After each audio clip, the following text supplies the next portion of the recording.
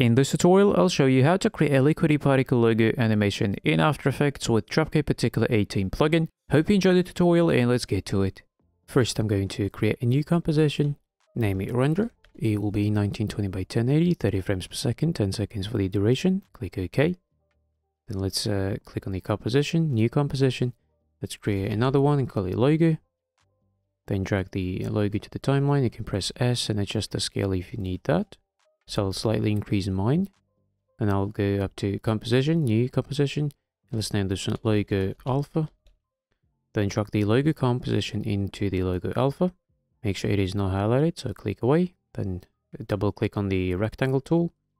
And make sure your fill is set to a solid color. And stroke is set to none. That'll create a rectangle that has the size of the composition.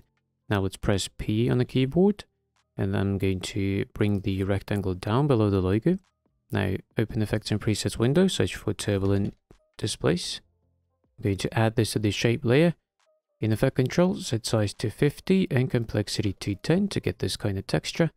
Then for the position, create a keyframe at the start of the timeline and further adjust the position so the shape layer is below the logo. Now I'm going to go 5 seconds forward and bring the shape uh, up above the logo layer like that. Then I'll right click on the shape layer, select pre-compose and name this one shape and click OK.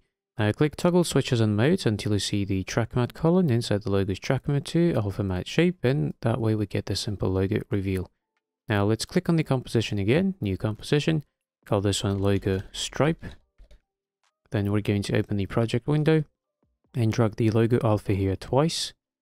Then I'm going to move to 10 seconds, offset the uh, top logo alpha layer to 10 seconds, then select both and move them back like that. And then set the track matte of the logo alpha to alpha inverted matte to get this kind of like a stripe that we're going to use to create particles. Here we get this weird outline and we can easily hide it using Minimax effect, search for Minimax and add it to the bottom logo alpha layer I'm going to set operation to minimum and here increase the radius to 2 or 3 until the outline is gone. Usually 2 works, but if it doesn't, you can try 3 and that works fine. Now I'm going to click on the composition again, new composition, name this one emitter. Then again open project panel, then drag the logo stripe in here and the shape composition above it. Move to 15 seconds and offset the shape layer to 15 seconds and set the track matte of logo stripe to alpha inverted matte. And this is done to prevent the particles from constantly emitting. Now let's go back to the render composition, then drag and drop the emitter comp in here. If you don't see this column, click toggle switches and modes and make the emitter layer 3D by checking this box and then hide the visibility from here. Now click on the layer new and create a solid. You can call this whatever you want, then click OK. Then open Effects and Presets window and search for Particular, then add it to the solid layer. So once the particular effect is loaded, go into the effect controls, open emitter, then emitter type, set that to layer, then expand the layer emitter. For the layer, we're going to select the emitter and change source to effects and masks. Now I'm going to set particles per second to 1 million. Click OK on that one. I'm going to move a bit forward to see the particles. Now this effect might be a bit heavy because we're dealing with a lot of particles. So I suggest you drop the resolution to half. Then I'm going to set emitter size to 0. Then velocity to 25. Go to scroll down to particle. I'll leave life as at 3 seconds. I set sphere feather to 0. Size to 6. And size random to 100. Then expand the size over life. And choose uh, presets. Select the second preset and do the same with the opacity over life. So expand, presets, second preset.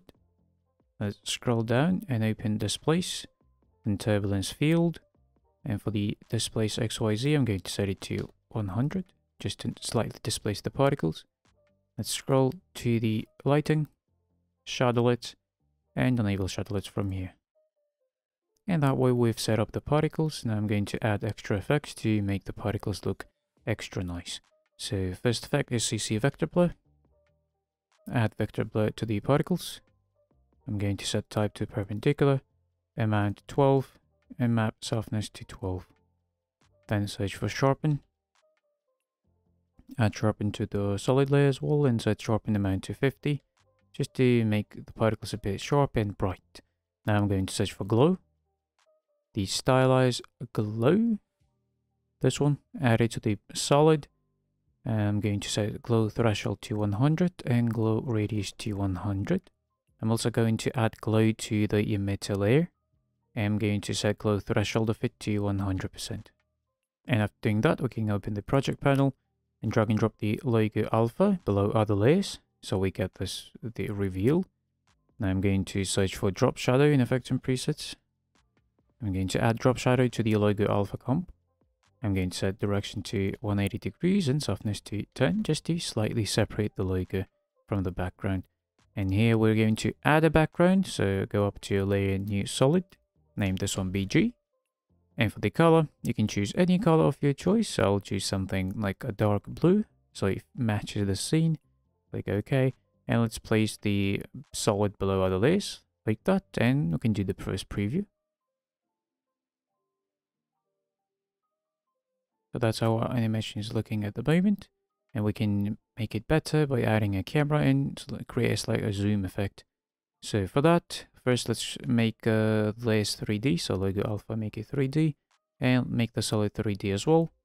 Then I'm going to click on the layer, new camera. I'm selecting the 35mm preset. Make sure these settings are not checked. Then click OK. Now let's move the time indicator at the start of the timeline. Press P while camera is selected. Create keyframe. Then let's go to, well, 6 seconds. So I'm going to increase the Z value of the camera to slightly zoom into the scene. So now we can do preview again. So now we have a slight zoom in to the scene. And as uh, every other animation that we've created here, uh, this one is procedural. So if we go back to the logo composition, then drag and drop a different logo in here, Make sure you adjust the size of it so it matches the previous logo size, like that. Then hide the previous logo, go back to the render composition, and everything so it should automatically be adjusted to the new logo that you've added. And here's the same animation done with a different logo, so as you can see, it is very easy and simple to use. Here you could add like a 3D reflection. If you're interested in doing that, I'll leave uh, the tutorials where I teach how to do that in the end screen, so you go ahead and check it out. At this point, the tutorial is complete. Uh, thank you for watching, and I'll see you in the next one. Peace out.